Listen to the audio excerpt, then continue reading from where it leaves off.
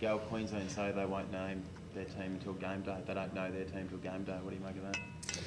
Yeah, look, that's uh, they've, they've obviously just waiting on Cherry Evans. I think I'm, I was confident from day one Billy Slater would play uh, and Greg Inglis, and you know this this is what Queensland do. They try to back themselves into a corner and somehow convince um, you know, all the bookies and everyone else that they're underdogs, and um, you know they're trying to set us up for an ambush. Um, you know we, we, we know that.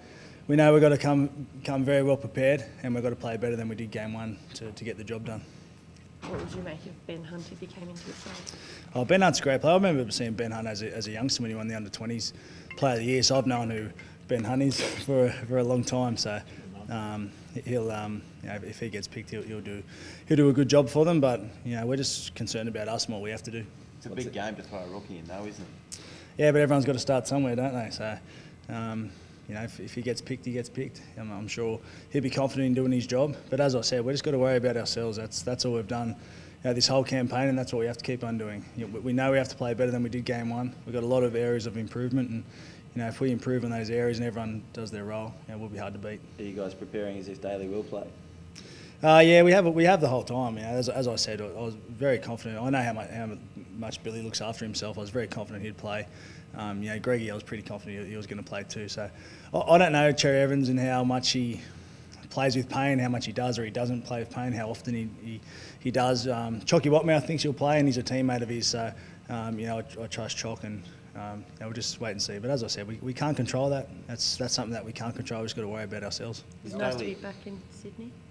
Yeah, it's good. It's good to be home. Yeah, I'm looking forward to going and seeing the kids today. So, um, but look, Coffs, Coffs Harbour's been really good. It's been really good to get away um, and, and, and, not put up with the hustle and bustle of Sydney. And you know, there's so much expectation and excitement about this game. Uh, I think it was just good to get away from it all and just concentrate on the preparation and concentrate on what we have to do to get the job done.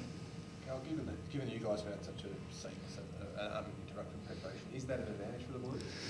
Yeah, well, this is this is another one. That, have you been conned too by Queensland? we, have got two of it, two of our best players out from game one, so uh, we're going to miss them Morris boys immensely. The, the, boys that we're brought in have, have all the faith in the world in them.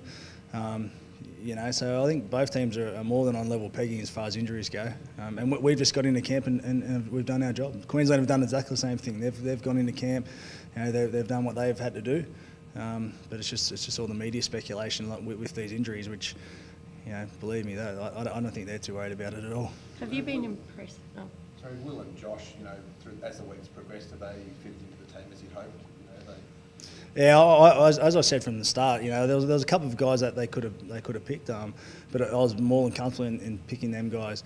They've both been at this level before. They've both played really well at this level before. Josh Dugan's played awesome at this level before, and um, Hopper's obviously had a chance here too and played really really well. So I'm, I'm more than confident um, in them two guys. They've fitted in the team and in the structure really well. They know their role. They know what they've got to do and um, I think they'll do a great job. The, massive task in front of them against that edge, you know, that's that's Queensland's best edge, has been for a, a, long time and probably in Origin history. So it's a big task for them, but they're up to it. T Rex back in at 18, 18th, nice to see him around the boys again. Yeah, the big fella. He's good to have around T Rex. He, he doesn't cop too much crap off everyone, especially Hainsey. And then Hainsey's pretty confident at the moment, so it's good to have T Rex in here, uh, you know, sitting him back in his place. You're probably more towards the end than the beginning of your Origin career. It, have you given much thought that this is obviously your best chance to take a series away.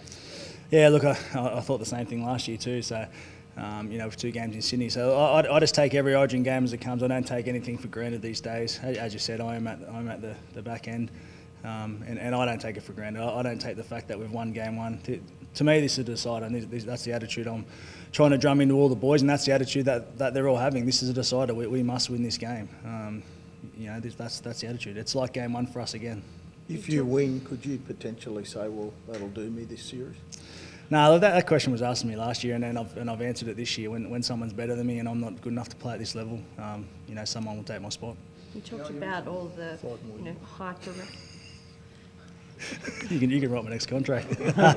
you talked about all the hype around this game. What have you said to the guys to try and keep a lid on things, and knowing you're so close but still so far? Yeah, like I said, just treat it like a, another game and, and, treat it like a must-win game.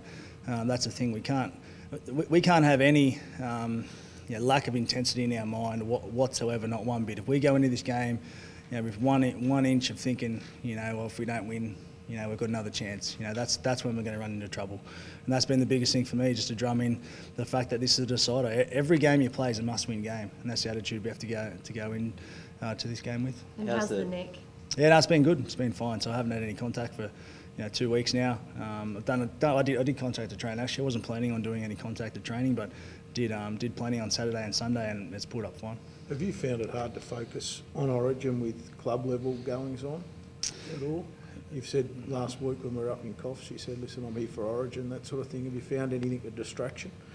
Ah, no, not at all, mate. We, you know, we're, we're doing our best at Cronulla, and obviously we've got a lot of players coming back next game from injury, so we'll just, um, you know, hopefully get everyone back and start winning some games. How do you find being the mouthpiece for every time ASADA is thrown up in the headlines? How do you cope with that? You're our go-to man. Yeah, it's frustrating. Um, but as I've said from day one, n- nothing's changed for me from day one. I don't know anything uh, what's going on. Um, none, none of the players do, which is the most frustrating thing. And as far as what's going on in Melbourne, I don't, I don't know Essendon circumstances one bit, so it'd be hard for me to comment on it. You mentioned how confident Jarryd is, it's got to be a good thing for New South Wales. Yeah, it is. I just, I just love taking the piss out of Hainsey.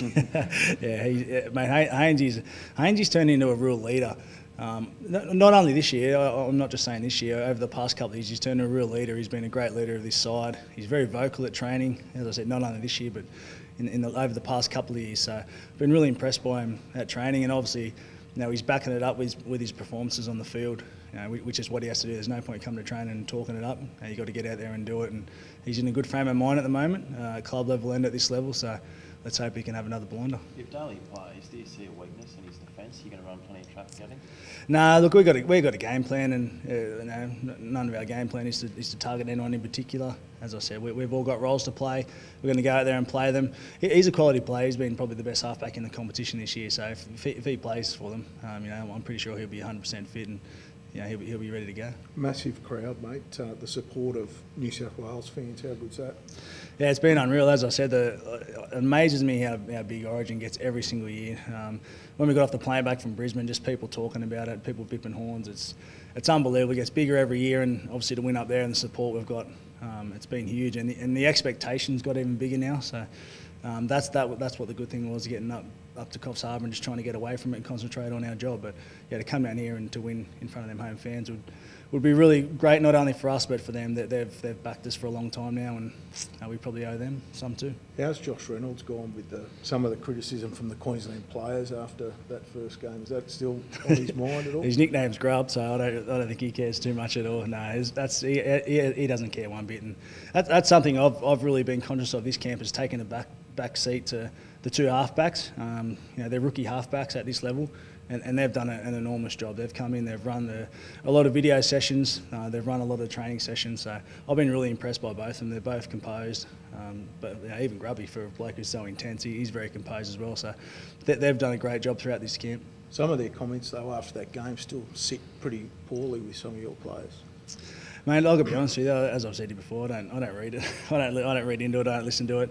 It seems a, a lot of the pressure and a lot of the hype comes from I've seen former players in the media. You know, the blokes who, who are playing. You know, we, we have a respect for each other, and you know, as, as I've said before, we have a we have a genuine hatred for each other when we go out on the field, and we want to do our best to get the job done. But we, we respect each other, and I don't think we talk you know, too bad about each other behind each other's backs. We're all open and honest. As I said, a lot of it seems to come from past players. Have you thought about what it would feel like to, to hold that shield up, to lift that shield? Oh, look, I've, I've, got to be honest, I've thought about Origin every day for years now. so it's been a, a huge goal of mine. Um, as I've said before, I've had a real checkered Origin career, up and down, missing games and injuries and stuff like that. So, yeah, I, I try not to think about it. I try to think about what I've got to do to get there. That's the biggest thing. But I'd, I'd lie if I said I'd never, I'd never thought about it. Gal, some pretty special words are spoken in the end goal area when you guys have that chance to regroup. What is it that you say to one another? It looks pretty emotional. Yeah, it was uh, after the first try they scored early. That one. Yeah, look, that was that was a bit of a shock. Um, no, not a shock. You know, we give we give if you give the, this team opportunities like that, they're, they're going to capitalise every now and then. So we just have to get back to you know worrying about our next job. That's been our biggest thing. Just worry about what, what we've got to do next and worry about your job. That's the biggest thing. You know, we've got we've got things that we have to expectations from the coaches and from each other that we have to meet. Uh, and, if, and if we don't meet them, then we probably won't be here um, game three. not flash, but it, it's something like it ends tonight. Ah, no, no, your, your lip reading's not that flash. Gal, that- yeah, they've, you know, they've been sort of- heading a bit of a fire on the Dave Taylor saying this is his last chance. Do you expect him to, to perhaps pose a bit of that X factor for Queensland? Oh, Dave's always had that about him. So yeah, absolutely, he's a he's a monster of a bloke, and um, you know he, he can do a lot of things. He's got a lot of skill in the game, a lot of size, and a lot of strength. So I'm sure they'll be wanting that from him. But um, as I said, he's just another player we have to deal with out there. We can't worry about him. We're, we're not worried about anyone in particular. We're worried about doing our job. You know, I know I know you want to know what we're going to do for this certain player, but we, we really haven't concentrated too much on individuals. You know, we play these guys every week, so we know what their strengths are and their weaknesses are. Uh, and as I said, heaps of times, we, we just have to worry about our job and getting it done. So is it yours to lose? Oh, look, I'm not looking at it like that, mate. I'm just looking at it as another game of football that, you know, to me, is a must-win game. That's that's the way it is. You ask Queensland why they've won so many series. I don't think they look at the series they've won, or the players don't anyway. They just look at the next game, and, and they want they want to do everything to win that game. And that's what we're going to do. We're doing everything to win this game.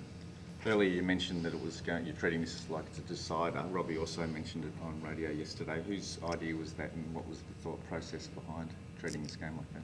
Oh, look, I think it's just everyone's. Yeah, I don't think anyone in particular come up with it. I just think that's, as I said just then, you know, every game we want to play is a must-win game in our mind. You know, I don't go out there in any game we'll play to, to lose. Um, and, and that's that's what all of us. And as I've said, if all, all of us do our job, all individuals, you know, will be really hard to beat. And if we don't have that mindset, if we don't have that, you know, real hungry attitude and that um, real desire to win, if we have one, you know, a bit of attitude, um, you know, that's when Queensland are going to come up and bite us. Because in their mind, no matter what, it's it's a must-win game. Does the preparation seem like uh, the I's have been dotted and the T's have been crossed? How does it compare to game one's prep? Yeah, it's been been really good, especially the Saturday and Sunday sessions. They were probably a lot more physical than they were in the first in the first camp. A lot more physical, and a lot more intense. So, look, we can't be any any better prepared. We can't be in any better spot than what we are at the moment.